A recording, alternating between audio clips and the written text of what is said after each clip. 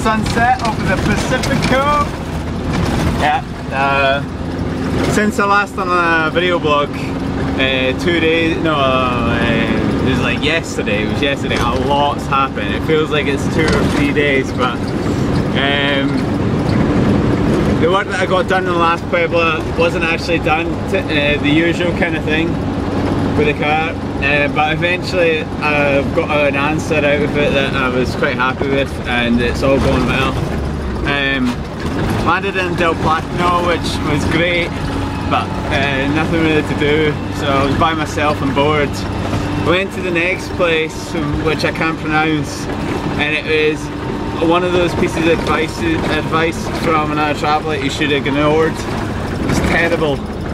Uh, so there's been confusion on emails with Leva and I've been running about all day. And uh, event now I'm just aiming towards Canoa to see if I can uh, find her there. But um, it's a beautiful night. Absolutely spectacular um, spectacular scenery. So I'm loving it. Absolutely loving it. But um, oh that is just it's just spectacular. The road's not exactly great. All of a sudden it's just turned to mush or quite the opposite of mush it's really quite hard mush and it's uh, shaking me about here but it's all good. I'll get there in the end